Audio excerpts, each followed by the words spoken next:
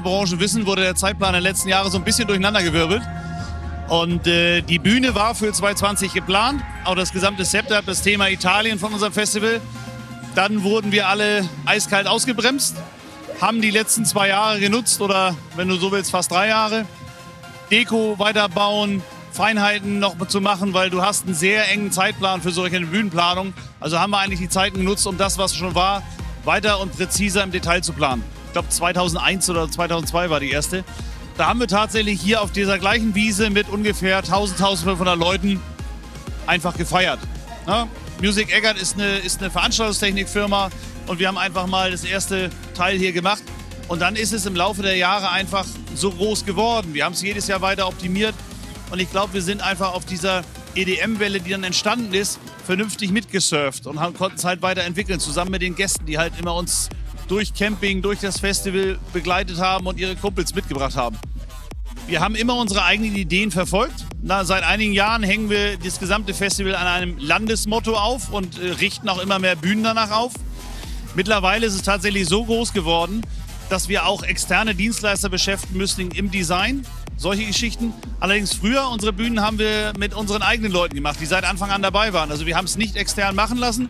Wir sehen andere Festivals, haben auch mal Ideen, aber dadurch, dass wir auch Veranstaltungstechniker sind, wissen wir, wenn wir ein Design haben, auch wie wir es technisch umsetzen können. Also Lichttechnik, Tontechnik, die ganzen Teile, das ist halt unser Unterschied oder auch unser Vorteil in dem Moment.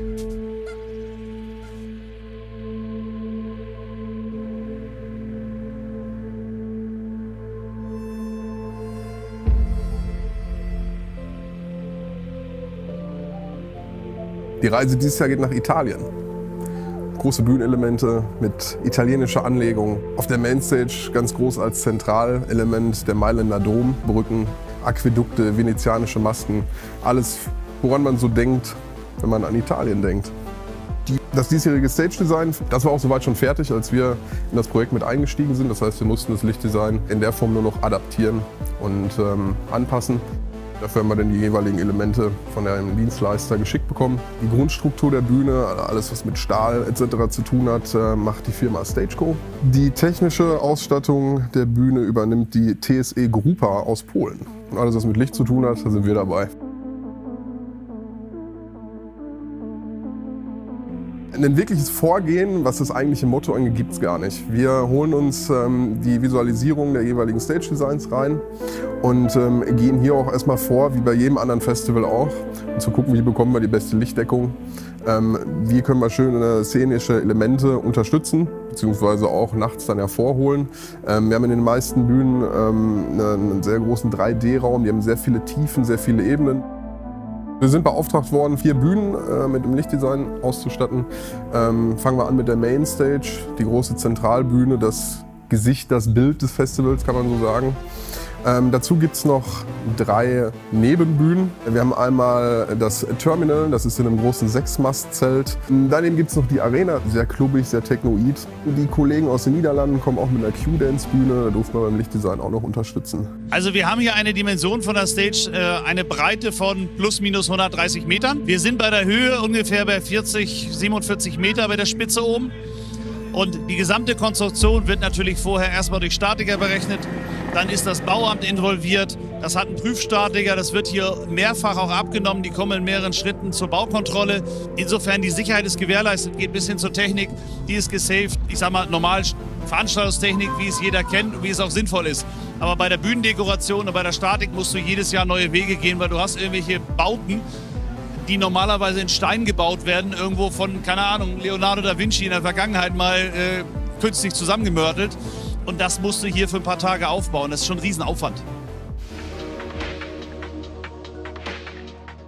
Unser Konzept für die Mainstage dieses Jahr war mal auf diese nervigen Regenkäppchen zu verzichten. Das heißt, wir versuchen dieses Jahr mal viel mit IP-geschützten Lampen zu arbeiten. Wir haben insgesamt als Beamlight äh, ca. 170 äh, Robe Megapoint hier am Start, wovon die Hälfte der iPointy sein wird. Das heißt, alle Positionen, die unter freiem Himmel stehen, ähm, werden durch iPointies abgedeckt. Klar, Regenschutz, man braucht keinen, Regenschutz aufbaut, man hat keinen Regenschutz im Kamerabild. Und dadurch erhoffen wir uns ein bisschen eine klare Linie und ein klareres Bild auf die Bühne. Dazu kommt noch der neue iSpider, altbekannt, der Spider, gute Lampe. Als IP wahrscheinlich genauso gut und wasserdicht. Ansonsten sehr, sehr viel Dekorbeleuchtung. Ähm, wir haben durch die vielen Details an der Mainstage, wie zum Beispiel den Mailänder Dom oder der Rigalto-Brücke, ähm, viele kleine Elemente, die wir natürlich während der Show auch betonen möchten. Das heißt, wir arbeiten sehr, sehr viel mit LED-Striplights, auch alles IP, ähm, la Sunbeam oder X5 ähm, Bar. Und ähm, dadurch versuchen wir in die verschiedenen kleinen Ecken und Details zwischendurch auch mal in der Show hervorzuheben und zu zeigen. Was wir halt immer bei den ganzen äh, Designs jetzt speziell für diese Bühnen versuchen ähm, umzusetzen, ist eine sehr gute Klonbarkeit für etwaige Gastcrews. Ähm, da nützt es jetzt nichts, wenn wir ähm, die neue Hightech-Lampe einsetzen, mit der aber irgendwie noch nicht so wirklich einer gearbeitet hat oder äh, es Parameterfresser sind. Ich mir die neuen äh, Multifunktionslampen angucke, ist das ja schon meistens, dass man äh, dann äh, ein Parameterproblem irgendwann bekommt. Und äh, da versuchen wir darauf zu verzichten. Wir haben eine ganz klare Linie, was Beamlights angeht, Spotlights angeht, Washlights angeht und natürlich die Dekorbeleuchtung. Diese Crews reisen die ganzen Tage durch die Gegend. Das heißt, die kriegen diese Programmierfiles und müssen mit ihren Pulten das umsetzen. Wenn du da, ich sag mal, 10 oder 20 verschiedene Fixture-Typen drin hast, dann ist das für den normalen Veranstaltungstechnik erstmal toll, dass er zwei davon hat, zwei davon. Das ist aber kontraproduktiv. Wenn du jetzt hier, ich sag mal, vier, fünf Typen drin hast, dann können die die vernünftig programmieren. Mainstage. Wir fangen am Bogen an, Bögen alle mit Dekobau versehen. Wir haben hier Säulen, die von äh, unten oder jede Säulenposition wird von unten hier durch zwei ähm, CLF Ares beleuchtet, LED-Wash. Darüber jeweils vier Vierer-Päckchen äh, Robe LED-Wash 1200 und äh, der Cameo Zenit SMD. Äh, relativ neues Stroboskop von der Firma Cameo. Ähm, super heller Output, RGBW-Chips. Nutzen wir hier als äh, Strobe ähm, IP-fähig. Das heißt, wir können auf den Wetterschutz verzichten. Wir haben alle äh, Moving Light Positionen, die den Beam bzw. Hybrid äh, darstellt, äh, dieses Jahr die Robe iPointy gewählt. Knappe 160 Stück am Start. Die stehen oben auf dem Bogen, oben auf der Bühne und äh, auf dem Catwalk, der hier verbaut ist. Die Torbögen auch nochmal versehen äh, mit einer großen Anzahl an äh, Two-Light-Blindern. Die alten Generics, also keine LED-Lösung. Ich wollte den warmweißen Look hier haben. Auch wieder in der Mitte von den Bögen. Robe LED-Wash 1200. Wir haben es dort in Achtergruppen angeordnet, passt zu den Vierergruppen in den Bögen. Im Gesamtbild wird man sehen, dass sich das komplette Set in Gruppen ähm, in das Bühnenbild integriert. Dann kommen wir zum Zentralelement der Mainstage, der Mailänder Dom. An den Seiten bestückt hängend Robe Megapointy. Aus dem Grund äh, haben wir uns auch für die iPointies entschieden gleiche Lampe, nur ein anderes Chassis. Alle hängenden Positionen haben wir mit Regenschutz versehen. Gleich wie an den Bögen außerhalb sind die Megapointies oben mit einem Cameo W600 SMD versehen. Ähm, ich wollte hier auf Typenmischungen verzichten.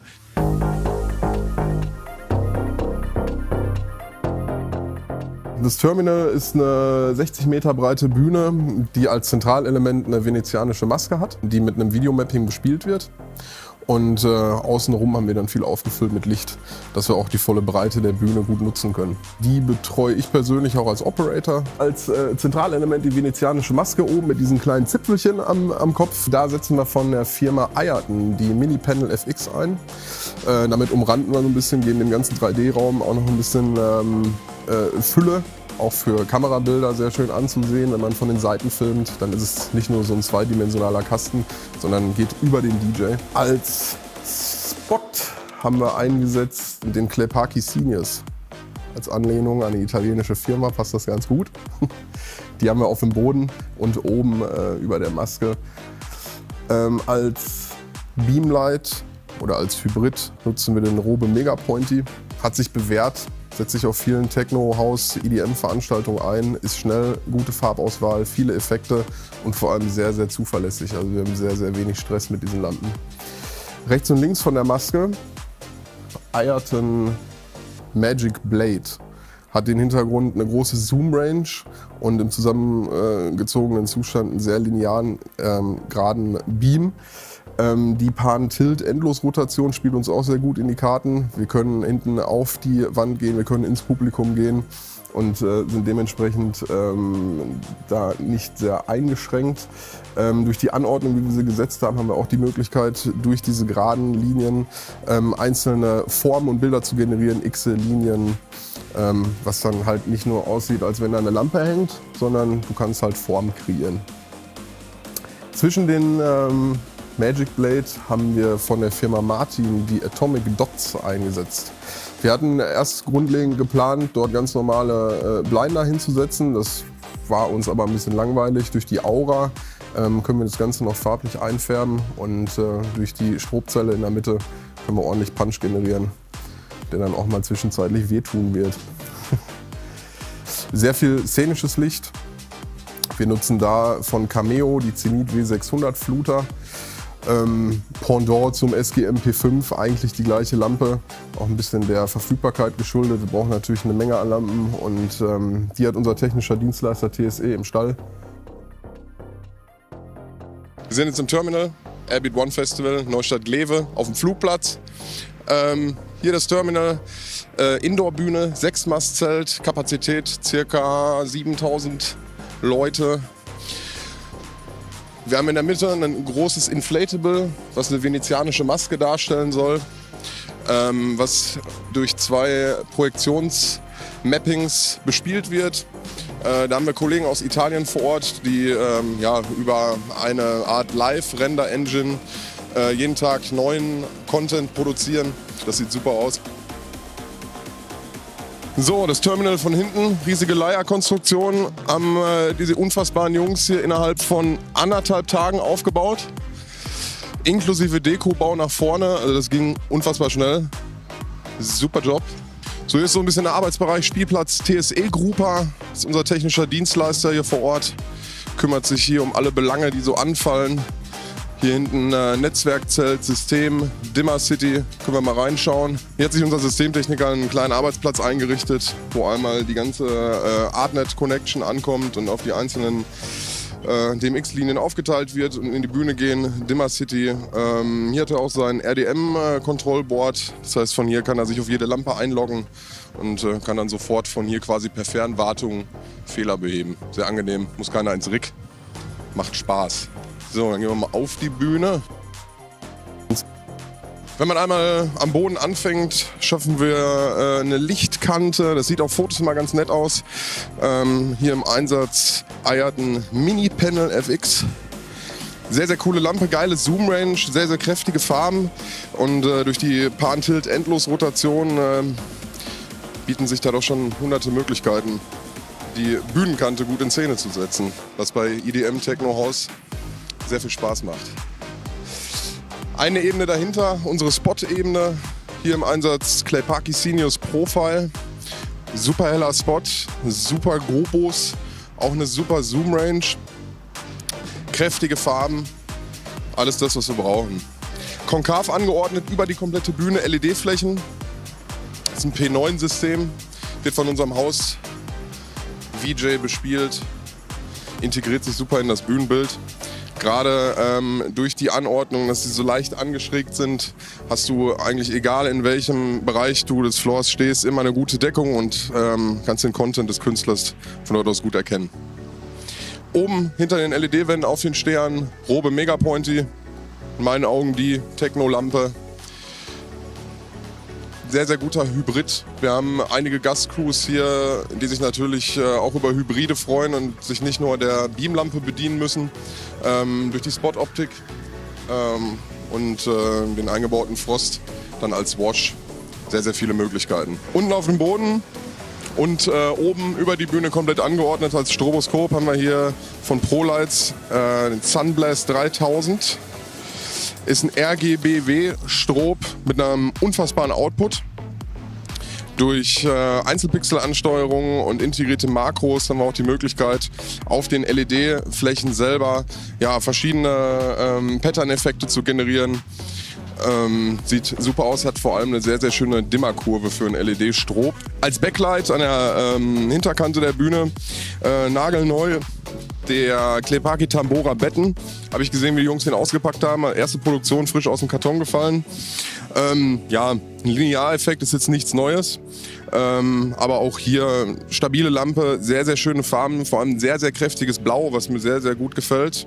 Eine große, weite Zoom-Range.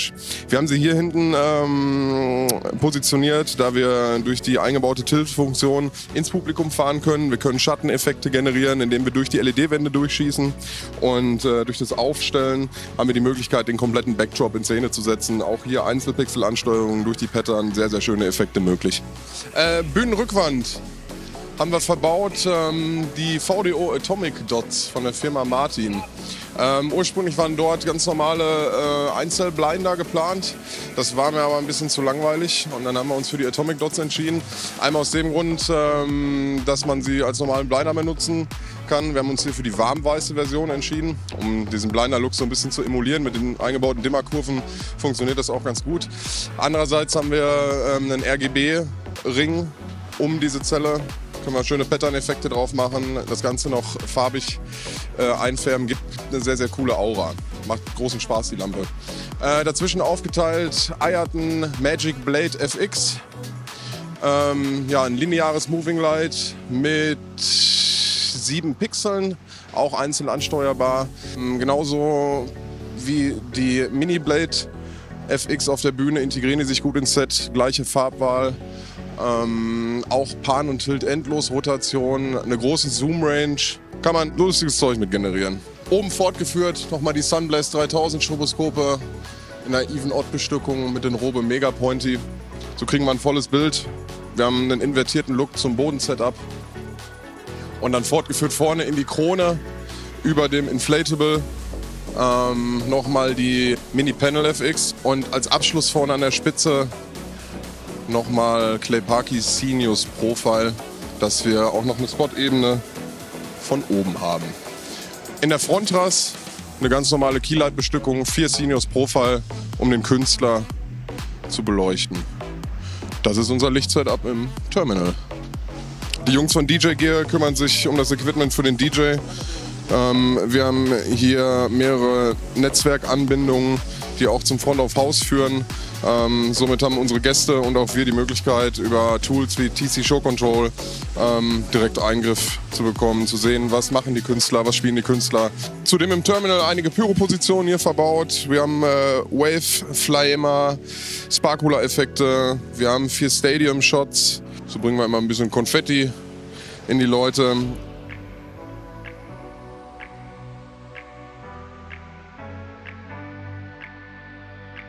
Hallo, ich bin der Sascha Tietze von FOG Fireworks und SFX. Heute melden wir uns von der Airbeat One in Neustadt-Lewe nach einer langen Pause. Wir sind alle wieder froh, dass es wieder losgeht. Und äh, passend dazu haben wir natürlich auch die ganze Mainstage einfach mal wieder vollgepflastert mit Pyrotechnik und Spezialeffekten. In Summe ist das Setup beim EDM eigentlich immer relativ gleich, will ich mal sagen. Also man hat diese Kryo-Effekte, diese CO2-Jets. In dem Fall hier sind es halt bewegte äh, Systeme, nicht nur statisch, sondern wir können halt den Winkel ähm, des Effekts immer, immer ändern und anpassen. Die Düse ist halt schwenkbar, wie bei dem äh, bewegten Flammenkopf auch. Und äh, das ermöglicht uns natürlich immer während der Show halt immer mal einen anderen Look irgendwie äh, zu erzeugen. Dann gibt es, äh, wie gesagt, auch standardmäßig Flammensysteme. Bei der Airbeat darf es immer gerne ein bisschen mehr sein. Es ist ähm, so ein Signature-Ding, äh, dass wir quasi immer zwei Flamer auf eine Stelle stellen. Also man könnte ja sagen, okay, man verteilt die kompletten Systeme, sind 26 hier unten Downstage auf ähm, symmetrisch auf einer Linie, aber hier ist es immer so, dass halt zwei hintereinander stehen. Hat halt den Vorteil, dass man einfach auch äh, X schießen kann, äh, über, überlaufende Fächer und so weiter. Und das ist halt ähm, ja, immer sehr, sehr interessant und ja, ist halt für die Airbeat eigentlich so, ja, so ein, so ein ich sag immer, so ein äh, Alleinstellungsmerkmal in dem Moment. Dazu gibt es dann hier vorne im, äh, im Bühnengraben Konfettikanonen, da arbeiten wir mit Stadium Shots, äh, ich sag mal, eigentlich so die, die, ja, die Allheilwaffe. Ähm, druckluftgeladener äh, Tank, der dann, ich sag jetzt mal, 30 Meter beziehungsweise 50 Meter weit schießt, also 30 Meter für Konfetti, 50 Meter bis zu 50 Meter mit äh, Luftschlangen und Streamern. Ähm, ja, davon haben wir acht Stück im, im Graben verteilt und die sorgen dann hier für den, für den jeweiligen Konfetti-Effekt, der halt äh, gefordert wird. Dann haben wir hier unten an der, an der Main auch natürlich Pyrotechnik stehen. Das sind hier ähm, in Summe, glaube ich, 26, 24 Positionen, genau, die halt dazu da sind, um A, in der, in der Closing Ceremony, die wir haben, oder in dieser Feuerwerksshow, die es am Samstag gibt, aber auch alle DJ-Cues äh, letzten Endes zu bespielen und zu bedienen. Und äh, da haben wir Kometen drauf, Feuertöpfe, Fontänen, alles, äh, wie gesagt, verschiedene Effekte. Und äh, man sieht eigentlich ganz gut, wie voll die Boards dann doch sind. Also wir ähm, ja, bestücken halt komplett für alle Tage vor, sodass wir halt ähm, ja, über die Nacht halt kein Reload machen müssen. Wir checken nur noch einmal, gibt es da irgendwelche Probleme, ist alles nach wie vor wasserfest und so, weil der Regen ist ja immer mal auch gegenwärtig. Aber das funktioniert ganz gut. Und ist alles funkgesteuert über das Expo-System. Damit arbeiten wir schon seit ja, gefühlt 15 Jahren und ähm, haben gute Reichweiten, lange Akkukapazitäten und können halt auch drei Tage einfach ein Festival bedienen ohne äh, ja, große Probleme eigentlich. Also was natürlich besonders schön ist dieses Jahr, ist so, dass wir diese, ich sag mal, die Dekoration beziehungsweise hier diese Realto-Brücke ja quasi schön inszenieren können, auch mit, also mit den Effekten, also gerade besonders auch mit der Pyrotechnik. Und so bekommen wir natürlich auch so eine, ja, auch so eine Welle irgendwie so mit rein und haben so, eine, so einen Höhenversatz, das einfach sehr interessant macht. Es ist halt schöner, als wenn ich einfach im Bühnengraben rechts, links neben dem DJ einfach auf einer Kante, ähm, auf einer Höhenebene, sag ich mal, einfach meine, meine Pyro einbaue. So bekommt, bekommt es einfach einen, einen ganz anderen Charme und das einfach hier aber auch so sich anbietet. Also man sieht ja hier die Konstruktion, wie es gebaut ist, super sauber, hier mit Leier und Holzkonstruktion. Da kann man einfach super positionieren und super aufstellen. Also es schreit quasi auch danach, es entsprechend so zu machen und äh, ja, wir sind eigentlich ganz happy und freuen uns, dass der Aufbau so gut geklappt hat hier. Ich bin der Markus, ich äh, arbeite für die Laserfabrik. Wir machen hier drei Bühnen auf der Airbeat One, äh, bestücken die mit Lasern und ähm, ich mache die Projektleitung und auch das Operating auf der Second Stage.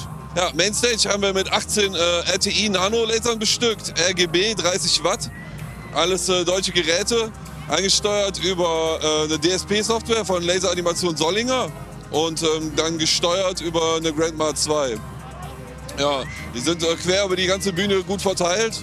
Für uns ist halt immer wichtig, die Position so auszuwählen, dass das Gesamtbild nachher stimmt, auch im Zusammenspiel mit den anderen Gewerken, gerade was das Licht angeht, was das Video angeht, dass äh, sich das nicht untereinander behindert, sondern als äh, dann zusammenspielt. Und ähm, ja, die Airbeat ist schon äh, ein schönes Festival. Es ist alles nah beieinander und trotzdem ist es irgendwie groß und ist sich nicht im Weg. Gladiator ist die Hardstyle-Bühne. Ähm, die Kollegen aus den Niederlanden von Q-Dance kommen dafür rüber, äh, betreuen diese Bühne auch komplett mit Künstler, Advancing, Licht, Video, bringen die alles ihre eigenen Leute mit. Die Bühne ist circa 50 Meter breit, 30 Meter hoch. Ähm, dort auch sehr, sehr wichtig, wollten wir auf den störenden Regenschutz verzichten. Deshalb setzen wir auch da fast ausschließlich IP-Lampen ein. Ähm, Sunbeam 100, SGM Sixpacks, alles, wo es drauf kann und die Sachen trotzdem weiterspielen. Ähm, es ist eine sehr, sehr dekorative Bühne, sehr viele Elemente, ähm, die auch einzeln betont werden müssen. Man sieht dann da Schwerter, Schutzschilder ähm, und als Haupt Show-Element ähm, haben wir da auch die Robe Megapoint hier eingesetzt, ähm, die für einen guten Impact sorgen werden da. Du hast auch sehr viele Elemente, wo du die Lampe gar nicht siehst. Also wir haben viele Lampen hinter Deko-Elementen versteckt. Immer ganz schöner Effekt. Es wird hell und äh, du siehst halt nicht, wo es herkommt. Finde ich persönlich auch immer sehr wichtig. Sehr viele versteckte kleine Elemente, sehr viele Pixel-Strips an der Gladiator Stage. Wir haben dort große Zentralelemente mit, einem, mit einer großen Maske und Schwertern, äh, die wir mit einer Outline versehen haben. In dem Fall ähm, nehmen wir da die Produkte der Firma Chauvet Epic Strips Tour. Die sind äh, einerseits sehr hell, haben ähm, eine gute kleine Bauform, sind sehr dünn, sehr leicht und sie haben natürlich auch eine IP-Klassifizierung. Das heißt, wir müssen uns da zum Thema Wasser auch keine Sorgen machen. Des Weiteren gibt es den Arena Floor, der ist dieses Jahr das erste Mal zugegen auf der Airbeat One. Ist ein äh, 8-Mast-Zelt. Ähm, auch hausigere, technoidere Musik. Alles ein bisschen kleiner und klubbig. So haben wir die Lichtelemente relativ nah ans Publikum rangeholt. Es wird von der Decke viel abgehangen. Ähm, auch dort altbewährt, Robe Pointy in großer Stückzahl. Ist ein sehr Robe-lastiger Floor. Wir haben Robe Pointy, Robe Spiky, Robe LED Beam 150. Äh, alles kleine, schnelle Lampen. Uns ist relativ wichtig, ähm, dass bei Veranstaltungen, wo viel äh, Techno läuft, auch ähm, den äh, LDs die Chance gegeben wird, taktgenaue Bewegungen zu generieren. Dieses Jahr haben wir tatsächlich das erste Mal komplett in Deepens simuliert. Ich hatte mir die Software schon ein paar Jahre angeschaut, aber es war für uns, da wir ja Veranstaltungstechniker sind, wenn wir sagen, okay, da hängen die Lampen, hängt das Video, wir können uns das selber vorstellen. Wir sind jetzt nicht für eine Agentur, die irgendwelche gerenderten Bilder haben muss, um zu sehen, alles klar, so sieht's aus. Der Unterschied ist einfach, dass ich gesagt habe, ich nehme es jetzt mal mit rein. Ich kann es auch meinen Artist Crews zur Verfügung stellen. Äh, wenn jetzt so ein David Getter oder ein Kaigo da ist, äh, dann kann man ihm sagen, guck mal, so sieht's aus. Weil das ist auch durchaus eine Entscheidung, dass die Künstler sagen, das, da gehe ich hin, das Booking mache ich. Und so kann ich in einer sehr frühen Phase das auch beeinflussen. Du kannst jetzt keinen Operator an so ein System setzen, der, ähm, ich sag mal, den ganzen Tag mit irgendeiner Schlagerkombo oder mit einem Popkünstler durch die Gegend tourt. Ähm, du musst ein bisschen die Musik fühlen. Ne? Elektronische Musik äh, bringt viele Veränderungen mit sich und du musst halt kopfmäßig ein bisschen vorbereitet drauf sein. Ne? Alle Operator, ähm, die dieses Festival bedienen, ähm, sind in der EDM-Techno-Branche schon fest verankert und äh, machen auch fast ausschließlich nur das. Und äh, das sieht man dann hinterher auch, wie es funktioniert. Es gibt während den äh, Shows, äh, die wir betreuen, äh, die keine Gastkombo oder Crew mitbringen, ähm, passiert alles live. Ja, wir müssen uns das in der Sekunde aus den Fingern saugen. Und äh, das funktioniert einfach nur, wenn du die Musik kennst, wenn du vor allem ein gutes Taktgefühl hast, äh, musikalisch bist und vielleicht auch mal im Auto in deiner Freizeit ein bisschen die Mucke hörst.